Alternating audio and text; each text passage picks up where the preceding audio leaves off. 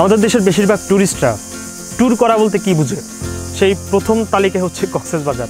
আর কক্সেস বাজার গিয়ে তারা এই শহরের আশপাশটা ঘুরে, যেমন Sugandha beach Laboni beach dolphin মোড়ের আশেপাশে ঘুরে, তারপর হয়তো বা হিমছড়ি যায় ইনানি যায়। কিন্তু কক্সবাজারের যে মূল ফিলিংসটা সেটা কিন্তু মানে গতানুগতিক ট্যুরের বাইরে গিয়ে কিন্তু আপনি চাইলে কক্সবাজার ট্যুরটাকে আরেকটু এনজয়েবল করতে পারেন। তো আজকের ভিডিওতে আমরা মূলত দেখাবো কীভাবে আপনি কক্সবাজার গিয়ে আপনার এই টুকটাকে একটু অন্য মাত্রায় নিয়ে যেতে পারেন? চলেন, শুরু করি।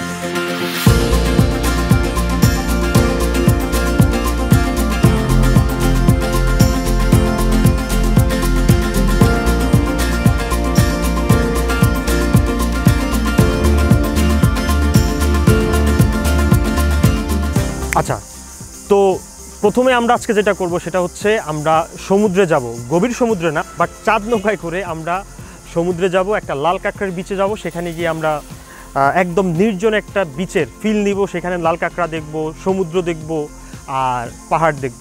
চলেন। এই নৌকাগুলোর নাম হচ্ছে চাঁদ নৌকা। এখানকার যে স্থানীয় জেলেরা, তারা কিন্তু এই নৌকাগুলোর মাধ্যমে গভীর সমুদ্রে যায় এবং সেখানে গিয়ে মাছ ধরে। বলতে পারেন, সমুদ্রে আসলে চলার জন্য উপযুক্ত হচ্ছে এই চাঁদ নৌকা। আর কক্সেস বাজারের হচ্ছে অন্যতম ঐতিহ্য এই চাঁদ নৌকাই। আমার আসলে আগে কখনো এই নৌকায় চড়ার সৌভাগ্য হয়নি, তো আজকে আমরা জাস্ট শর্ট একটা রাইড দিব। বলতে পারেন, রিজুকাল হয়ে একটা ছোট দ্বীপে যাব, লাল কাঁকড়ার দ্বীপ, যেখানে আসলে কোনো মানুষের বসবাস নাই। সমুদ্রের মাঝখানে ছোটোখাটো একটা দ্বীপ বলতে পারেন।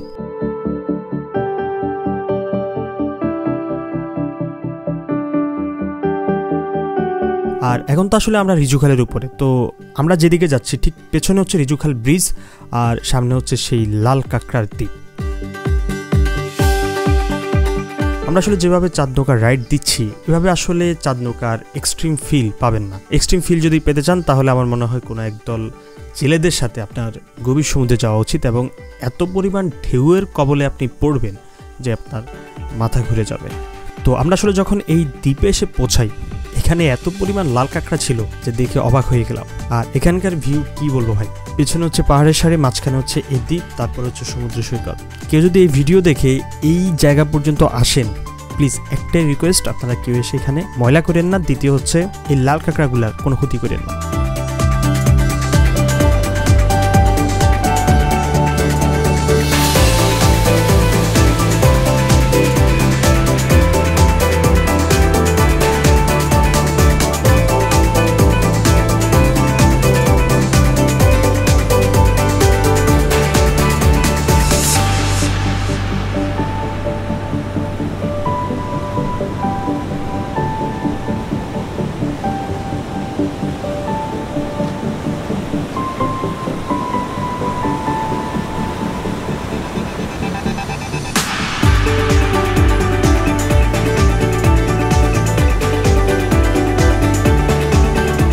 লাল কাকার বিচ দেখা শেষ।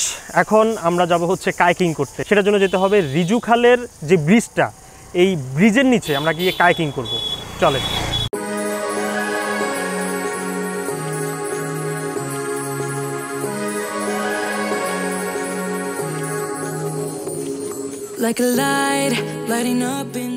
যারা আসলে অ্যাডভেঞ্চার করতে খুবই পছন্দ করেন তাদের জন্য হান্ড্রেড পার্সেন্ট রিকমেন্ডেড থাকল এই কায়াকিং করা। প্রতিটা বোটে দুজন উঠতে পারবেন আর প্রতি আধা ঘণ্টার জন্য সম্ভবত পে করতে হয় দুশো টাকার মতো। তো এই নদীতে আসলে এটাকে খাল বলা হলেও মূলত এটা হচ্ছে নদী, একদম সমুদ্র সৈকতের সাথে লিঙ্ক করা।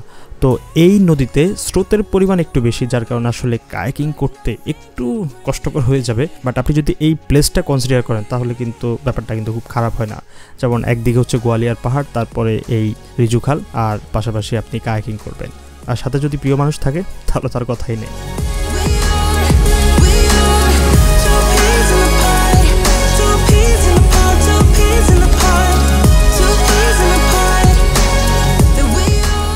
কাইকিং করা শেষ। এখন আমাদের একটু পাহাড় টাহাড় দেখতে চাই। যেমনটা মিনি বান্দরবন বলা যেতে পারে সেই জায়গাটিকে। সেটা হচ্ছে গোয়ালিয়ার পাহাড়গুলো আমরা দেখতে যাব।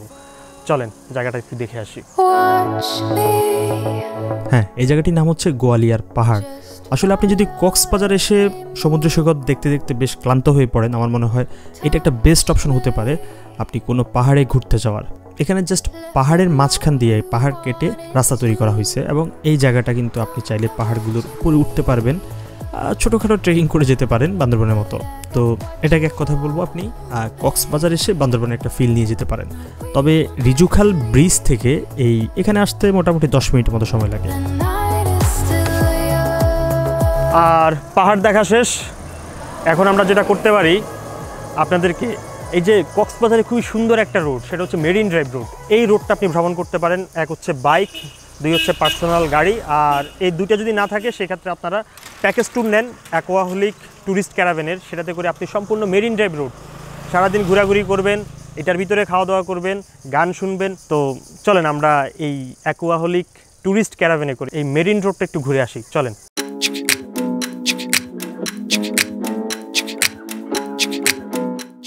যারা আসলে একদম রিল্যাক্সে একটা দিন মেরিন ড্রাইভে ঘোরাঘুরি করতে চান, তাদের জন্য একদম পারফেক্ট একটা ওয়ে হচ্ছে এই অ্যাকুয়াহলিক ট্যুরিস্ট ক্যারাভেন।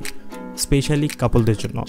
তো এটার ভিতরে আপনি ওয়াশরুম পাচ্ছেন, এখানে খাওয়া দাওয়া প্রায় তিন থেকে চার বেলা আপনাকে ফুড প্রোভাইড করবে, যেমনটা সকালে নাস্তা দিবে, পরবর্তীতে দুপুরবেলা আপনাকে চাইনিজ তারপর হচ্ছে সন্ধ্যাবেলা হচ্ছে স্ন্যাক্স তো মোটামুটি একদম পারফেক্ট একটা যদি ট্যুর দিতে চান, সম্পূর্ণ একটা দিন, আমার মনে হয় এই ট্যুরিস্ট ক্যারাভেন একটা বেস্ট অপশন হতে পারে।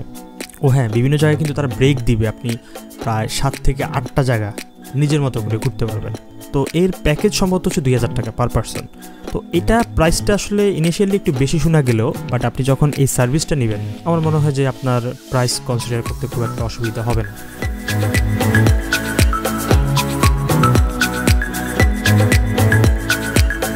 আচ্ছা আপনারা আরেকটা কাজ করতে পারেন, সেটা হচ্ছে আপনারা চাইলে কিন্তু প্যারাসিলিং করতে পারেন বাট প্যারাসিলিং নিয়ে আমাদের একটা ভিডিও অলরেডি পোস্ট করা হয়েছে। সো ওটা দেখাচ্ছি না, আমরা দেখাচ্ছি হচ্ছে আপনাদেরকে এই একদম মারমিডের পাশের একটা বিচ খুবই সুন্দর একটা বিচ তো ওই বিচে আমরা যেটা করব সেখানে আমরা তাবু করব হ্যামকিং করব মানে একটা বিকেল এখানে নিরিবিলি কাটাবো। চলেন। কক্সেস বাজারে আসলে এই ধরনের অ্যাক্টিভিটিস খুব একটা দেখা যায় না। বলতে পারেন একটু ইন্টারেস্টিং তো কেউ চাইলে কিন্তু এমন ওয়াটার হ্যামকিং করতে পারেন বা বিচ ক্যাম্প করতে পারেন। তো যখন জোয়ার থাকে তখন এটা পসিবল বাট আমরা যখন আসি তখন জোয়ারের জল ছিল না তখন ছিল হচ্ছে ভাটার সময়। তো বিচ থেকে কিছুটা দূরে আমরা জাস্ট ঝাউবনের ভিতরে হ্যামকিং এবং তাবু গেড়ে প্রায় সন্ধ্যা পর্যন্ত এখানেই কাটাবো। তো এই ধরনের অ্যাক্টিভিটিস কিন্তু আপনারা চাইলে নিতে পারেন। আহ, সারাদিনই কিন্তু আপনারা এখানে থাকবেন এখানে খাওয়া দাওয়া সব কিছু হবে। একদম নিজের মতো করে নিরিবিলি একটা জায়গায় সারাটা দিন স্পেন্ড করতে পারবেন। স্পেশালি যদি বিকেলবেলা আসেন, তাহলে ঠিকঠাক, কারণ রোদের তীব্রতা তখন একটু কম থাকে। আর এই অ্যাক্টিভিটিসটা আপনারা চাইলে কিন্তু ক্যাম্পিং কক্স থেকে নিতে পারেন।